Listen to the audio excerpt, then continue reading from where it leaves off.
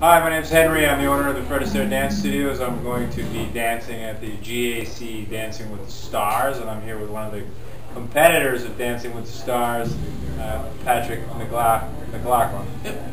And uh, Patrick has uh, chose a charity to represent as he's dancing, uh, and he's going to tell us a little bit about that charity. So, what is the reason you picked that charity, and what is that charity all about? The charity I picked was the Stratfield Volunteer Fire Department.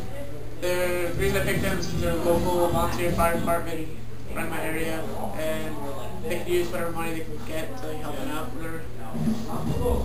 Yeah. Good. So they, they, they get their donations. They run the fire department by by people donating money. Yeah, donate money and uh, taxing, like that. Good. That's good. I've seen them out there with the boots. I think. Do they go out there with the Yeah, they boots? do the, uh, boots? Uh, It's good. They could use your help. So. Yep. Uh, and you are dancing uh, a samba, I believe. yep. Really good dance lesson so far. it's pretty fun. I like it. Good. So we're gonna kind of uh, just check in with you, maybe take some videos of you as we go through, and, uh, and uh, that's it. Alright, sounds good. All right, thanks.